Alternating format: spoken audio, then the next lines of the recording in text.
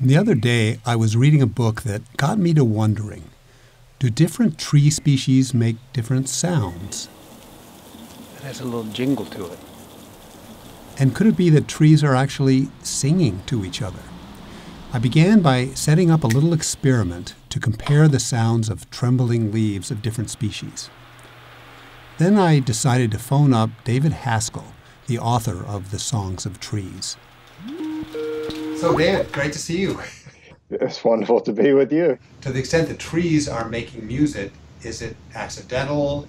Is it directed to, to someone? As far as we know now, most tree sounds are not designed by natural selection to be communicating something from one tree to another. Many of them are byproducts of the architecture of a tree. So each tree sounds different because of the unique size and shape of its leaves and the angle of its branches, which is all about photosynthesis, not communication. But do trees notice sounds? Absolutely, plants can detect vibrational energy, often coming through solid surfaces, some of it coming through the air. The ability to perceive vibrations is important to trees because it allows them to hear herbivores.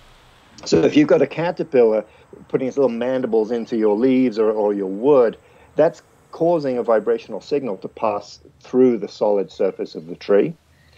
And the tree then responds by making defensive chemicals.